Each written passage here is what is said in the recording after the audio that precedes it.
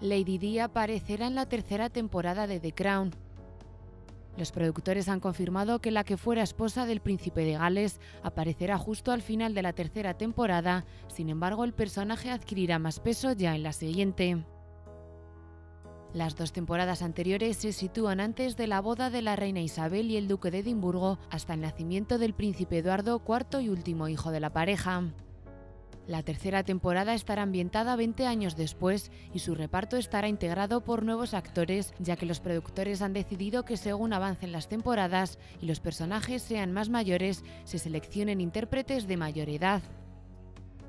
Así Olivia Colman encarnará a la reina, mientras que al duque de Edimburgo le dará vida Paul Bettany y Elena Bonham Carter interpretará a la princesa Margarita, la hermana rebelde de la reina. Algunos medios señalan que Camila Parker Bowles también aparecerá en la tercera temporada ya que conoció al príncipe Carlos en 1970.